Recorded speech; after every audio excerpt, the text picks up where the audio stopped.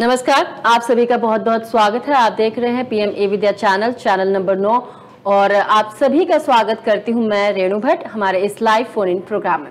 अपने सभी देखने वालों को हम बता दें कि हम इस सत्र में बात करने वाले हैं संस्कृत के नवी कक्षा के विद्यार्थियों के लिए। और आज का हमारा शीर्षक है रचना अनुवादम।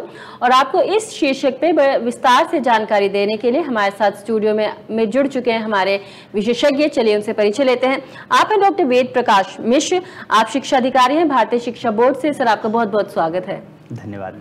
और अपने सभी देखने वालों को हम बता दें कि बच्चों, अगर आपके मन में कोई भी सवाल आए इस विषय से जुड़ा हुआ या फिर इस शीर्षक से जुड़ा हुआ, कुछ जानना चाहते हैं या आप अपनी बात आप साझा करना चाहते हैं तो आप बेझिझक हमें कॉल कर सकते हैं। हमारे टेलीफोन नंबर पर, जो आपको इस वक्त अपनी टेलीविज़न स्क्रीन पर नज़र आ रहा है, हमारा नंबर है double eight double zero double four zero double five nine या फिर आप हमें ईमेल करेंगे, हमारे ईमेल एड्रेस पे जो है D T H dot class ninth at the rate C I T dot N I C dot I N तो इन दोनों ही माध्यमों से आप हमसे जुड़ सकते हैं और अपने सभी सवाल और अपनी सभी क्वेरीज आप हमारे विशेषज्ञ के साथ साझा कर सकते हैं। तो चलिए हम इस सत्र की शुरुआत करते हैं और अपने विशेषज्ञ से हम जानना चाहेंगे कि सर आज के हमारे सत्र में आप हमारे बच्चों के लिए क्या कुछ खास लेकर आए हैं?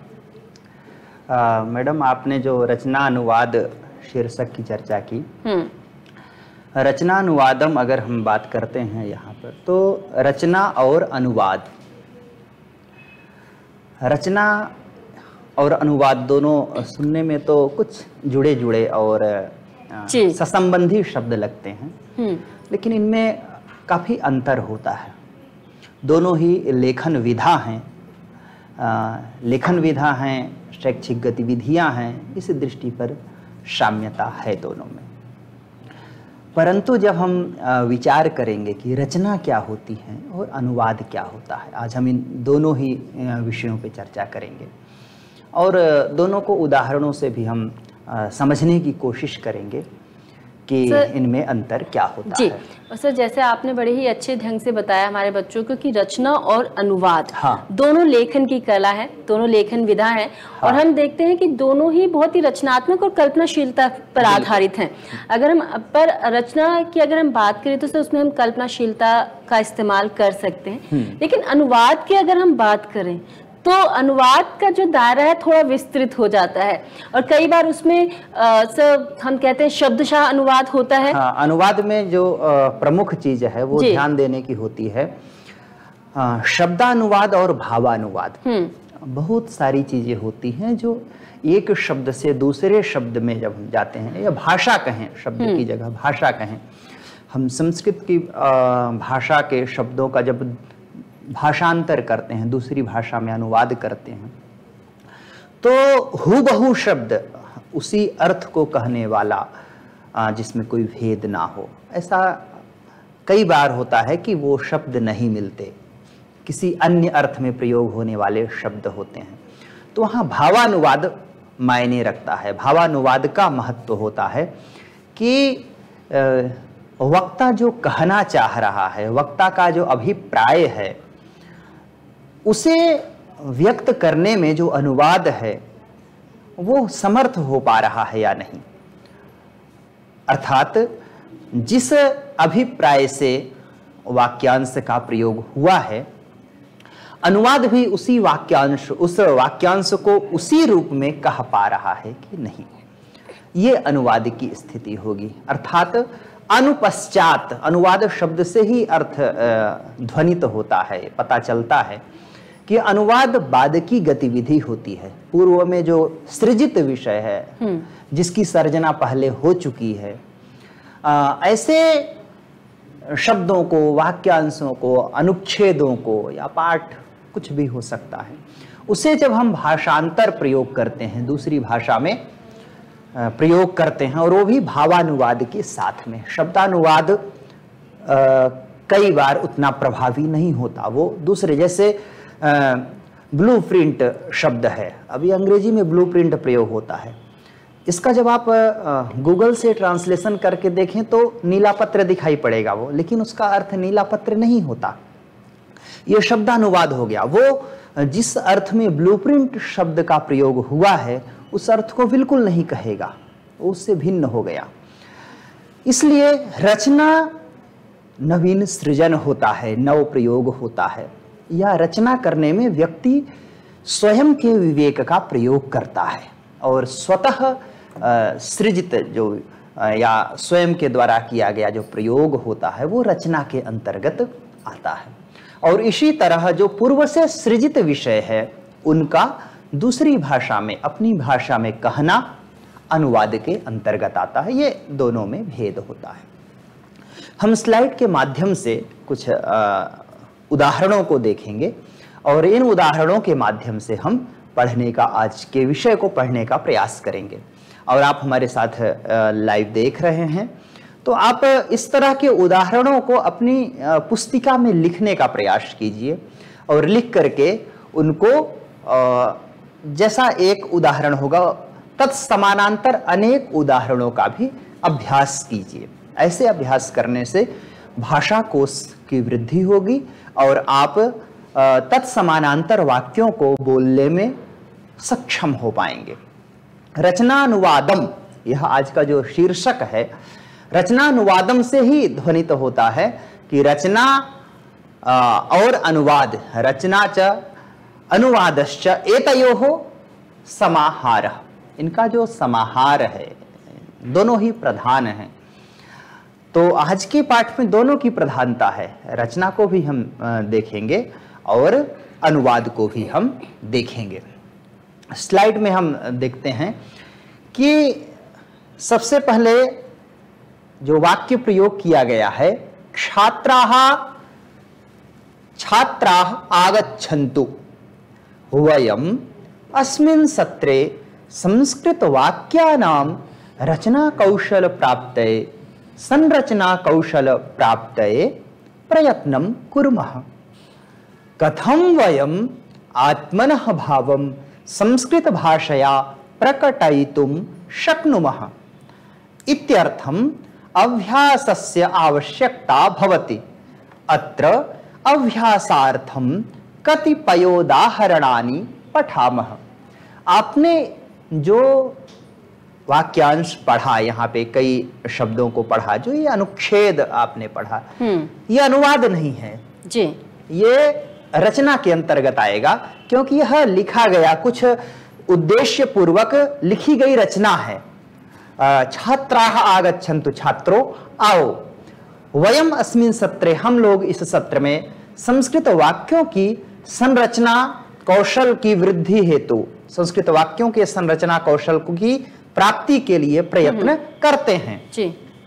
कथम वयम आत्मनः भावम संस्कृत भाषया प्रकटयितुम शक्नुमः? कैसे हम अपने भावों को संस्कृत भाषा में बोलने में समर्थ हो सकते हैं? इत्यर्थम अभ्यासस्य आवश्यकता भवति। इसके लिए हमें अभ्यास की आवश्यकता होती है।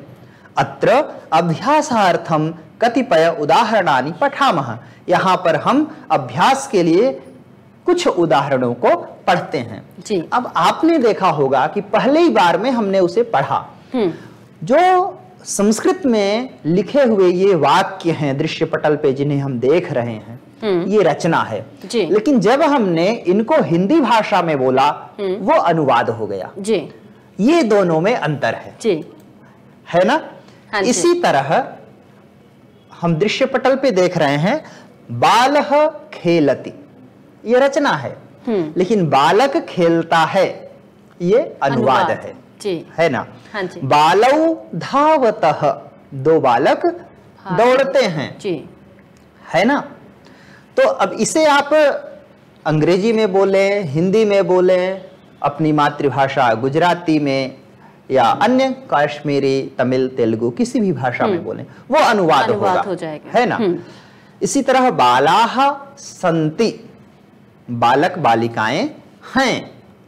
महिला महिलाः वदंती। महिलाएँ?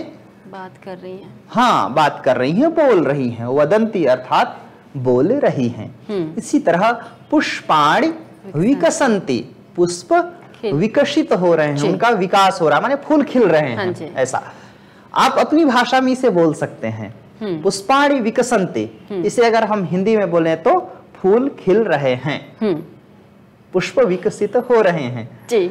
आप इन्हें अपनी मातृभाषा में प्रयोग करके आ, अपने शब्दकोशों को शब्दकोश की अभिवृद्धि के साथ साथ संस्कृत के साथ उनके तादात्म्य को देख सकते हैं कि किस प्रकार से आपस में भाषाएँ जुड़ी हुई हैं आपस में एक दूसरे से संबंधित है।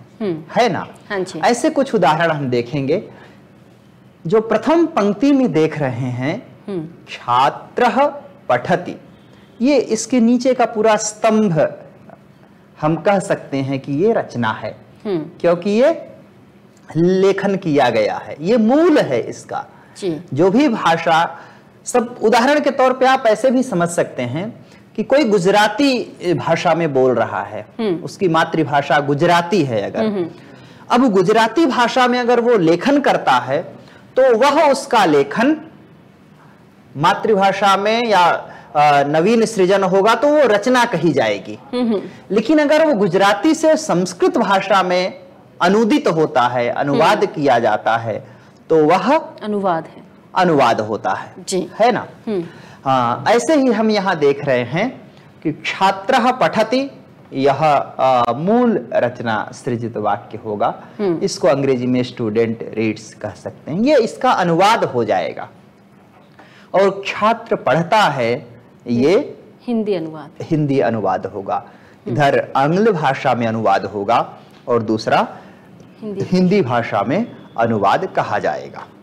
बालक हसती बालक हंसता है। माता आगच्छति माँ आती है। आप इनका आगे का उच्चारण आप कीजिए। शिक्षक पाठयति। पाठयति। आगे क्या कहेंगे? टीचर टीच और अगर हिंदी में देखें उसका अनुवाद तो शिक्षक पढ़ाता है। पढ़ाता है। पाठयति अर्थात पढ़ाता है। पठति अर्थात पढ़ता है। आगे कीजिए। कृषक क्षेत्रम कर्षति। फार्मर प्लो द फ़ील्ड और कृषक खेत जोतता है। कृषक खेत जोतता है। श्रमिक पाषाणम त्रोटयति।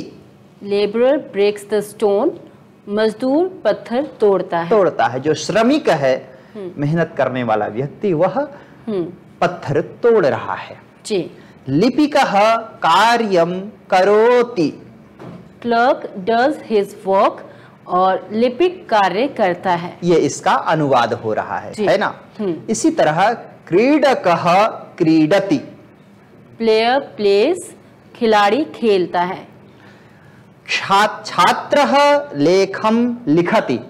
स्टूडेंट राइट्स एन आर्टिकल छात्र लेख लिखता है। लेख लिखता है। आपने इन सारे वाक्यों में एक समानता देखी होगी। हम्म। सभी वाक्य वर्तमान काल के हैं। छात्र पढ़ता है बालक हंसता है माता आती है। सभी के सभी वर्तमान काल के उदाहरण आपने देखे। हम्म। आ, आपको पता होगा एक विधि है पढ़ाने की विधि हम्म। जिसे हम अनुवाद विधि कहते हैं। ओके। अनुवाद विधि शिक्षण की एक विधि है या शिक्षण की एक शैली है कला है जिसके माध्यम से हम दो भाषा का प्रयोग करके अ, उदाहरण के तौर पे कोई हिंदी भाषा को नहीं जानता। किसी बच्चे की मातृभाषा संस्कृत है।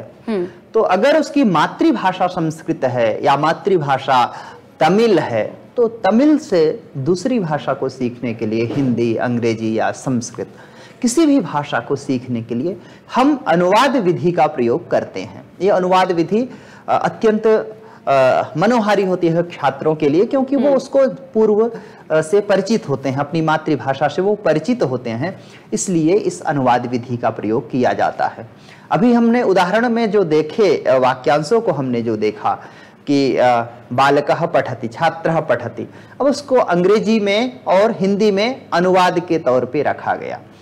छात्र हिंदी को अगर जान रहा है तो उसके साथ तालमेल बैठा पाएगा और संस्कृत में उसे क्या कहते हैं? सहज समझ पाएगा। इसी तरह अगर वो अंग्रेज़ी भाषा के वाक्यों से परिचित है तो तो एक भाषा के द्वारा दूसरी भाषा को सीखना जब हमें होता है तो अनुवाद विधि इसके लिए महत्वपूर्ण होती है उपयोगी विधि होती है जिसकी सहायता से हम वाक्यों को पढ़ पाते हैं। जी और जो बच्चे हैं जो पढ़ रहे हैं वो एक साथ दो दो भाषा का ज्ञान कर पाते हैं बिल्कुल। और हमारी संस्था भी एनसीईआरटी या सभी शैक्षणिक संस्थाएँ बहुभाषिकता को महत्व देते हैं। व्यक्ति को बहुभाषा विज्ञ होना चाहिए, अनेक भाषाओं को सीखना चाहिए। और जब हम अनेक भाषाओं को सीखते हैं तो फिर भाषाओं के आपसी संबंध को समझ पाते हैं कि किस तरह से एक भाषा दूसरी भाषा के साथ में जुड़ी हुई है। जैसे हमारे देश के सभी राज्य कहीं ना कहीं एक दूसरे से जुड़े हुए होते हैं। उनका एक ऐसा स्थान होता है जहाँ पे बॉर्डर होता है, वो आपस में मिले होते हैं। वैसे ही भाषाएँ भी परस्पर नदी की तरह बह रही हैं। जब गंगा हिमालय से निकलती हैं तो उनका नाम अलग होता है। और फिर आगे बढ़ती जाती हैं।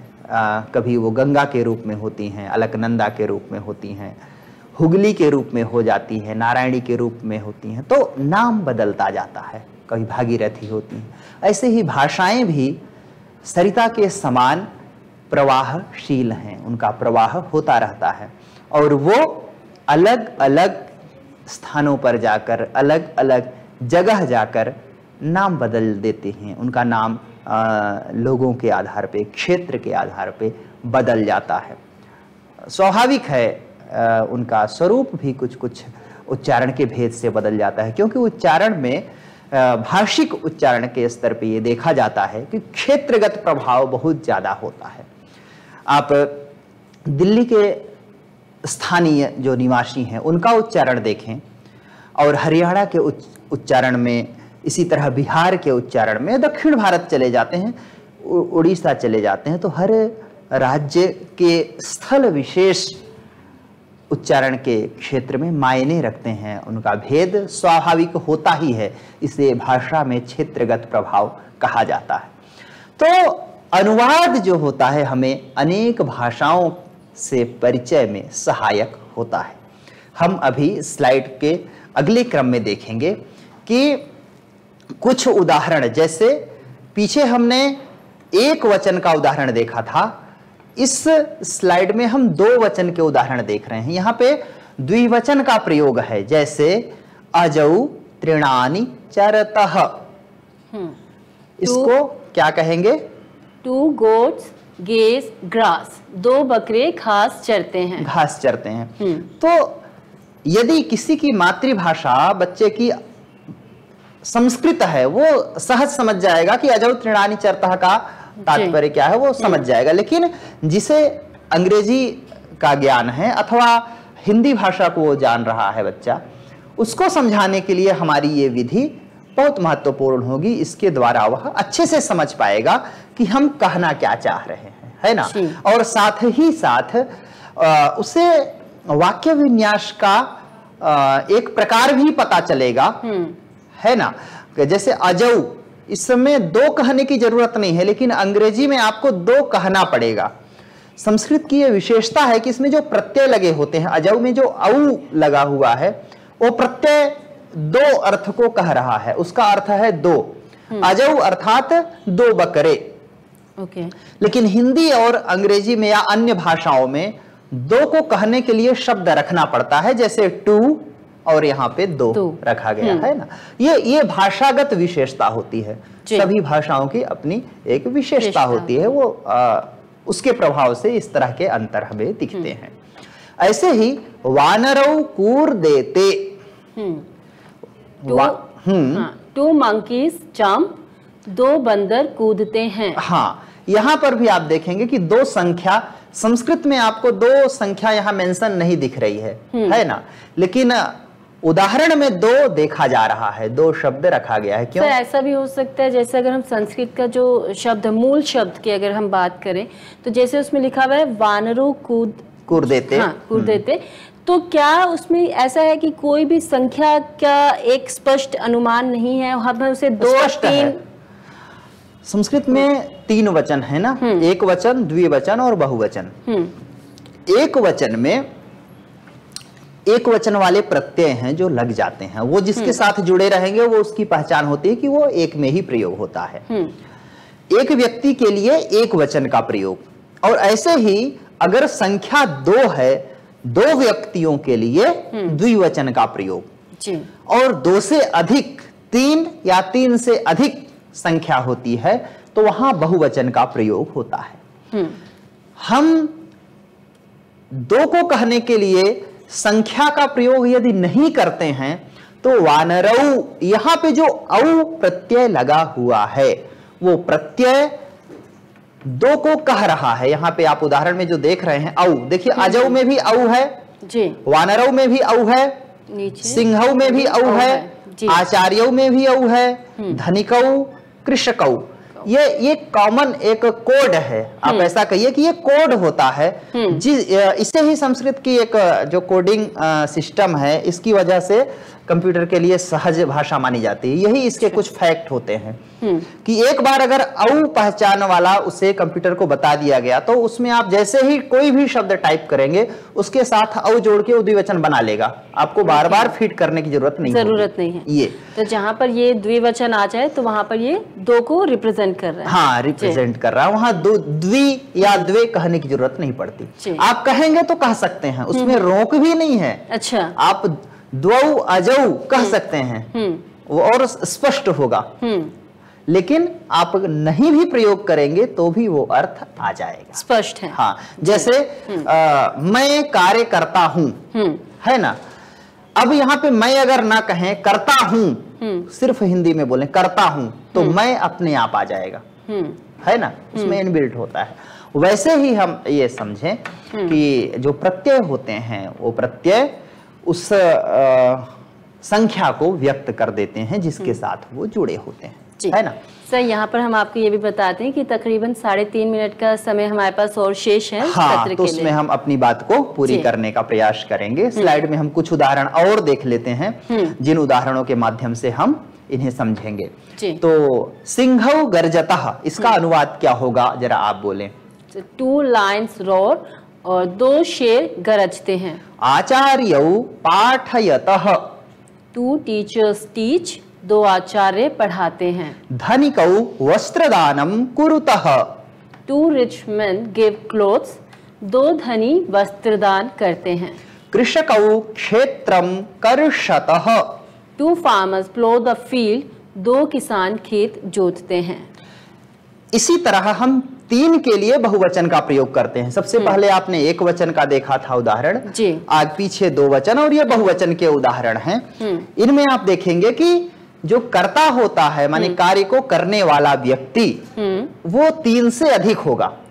जैसे धनिका धावंती हम्म। अब यहाँ संख्या तो नहीं बताई गई लेकिन तीन चार पाँच छह सात आठ आप जितना चाहे इसमें जोड़ सकते हैं। दस धावका धावंती दस दौड़ने वाले दौड़ रहे हैं।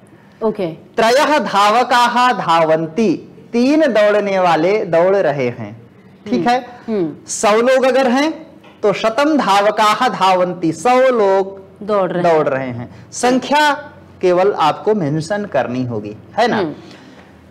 ऐसे ही धावका धावंती में संख्या नहीं बताई गई है इसलिए इसका अनुवाद क्या होगा? रनर्स रन धावक दौड़ते, दौड़ते हैं। हैं ठीक है? लेकिन इस वाक्य से पता चलता है कि बहुत सारे लोग है। एक ना? साथ जी दौड़ रहे हैं। हाँ क्योंकि जैसे यहाँ धावकाह में ये बहुवचन का चिन्ह है ना ऐसे ही आप देखेंगे कि रनर्स में प्रयोग किया गया है। रनर्स जो प्रयोग है बहुवचन के लिए होता है। ऐसे ही ये धावकाह है। जी। ये प्रत्ययों का सिस्टम यहाँ पर भी है। अंग्रेज़ी में भी वैसा देखने को मिलता है। ऐसे ही श्रमिका कार्यम कुर्वंती मजदूर कार्य करते हैं। पाचका भोजनम पचंती भोजन पचाने वाले बनाते हैं।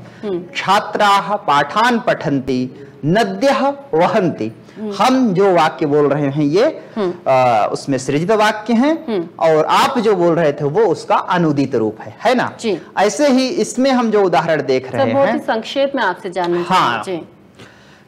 कुत्र गच्छसी। अभी आप प्रथम पुरुष के उदाहरण देख रहे थे।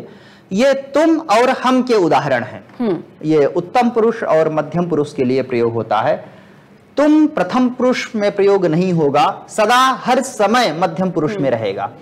और ऐसे ही अहम आवाम वयम ये जो अंतिम के तीन वाक्य हैं वो हर समय उत्तम पुरुष में प्रयोग किए जाते हैं। है ना? तुम कुत्र गच्छसी अगर यह उदाहरण करें तो इसका अनुवाद क्या होगा?